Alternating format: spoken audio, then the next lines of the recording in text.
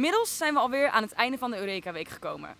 Stiekem ben ik wel heel erg benieuwd hoe erg de Nederlandse studenten op de hoogte zijn van het studenticoze vocabulaire. Daarnaast gaan we ook ontdekken hoe erg de internationals de Nederlandse taal beheersen. Nou, ik drink even mijn bakje pleur leeg, want er staat een schaal bitterbal op me te wachten.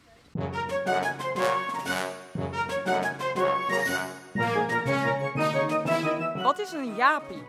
Een japie? Een drankje met appelsap en jenever. What does a korbal mean?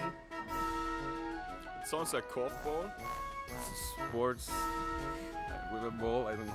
It's a typical frat boy. Is it? It is. Oh man. Do you know what these things are? Not really. We call them bitterballen.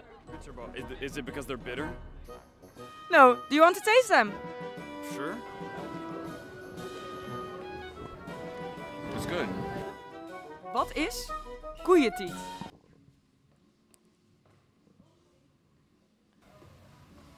Wat?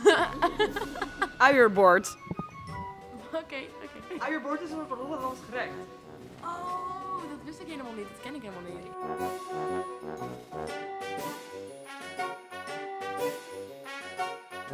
When do you say that you're stront Lazarus? Think when you're wasted at night, like drunk. When you're drunk. Drunk? Oh, nice.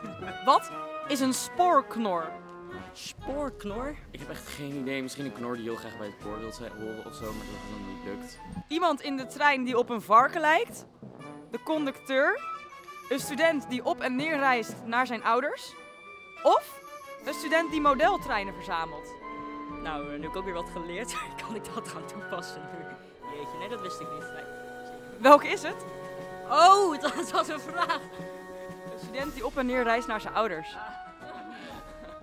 Wat is uh, bakkie pleur? This language is a joke. Bucky plur.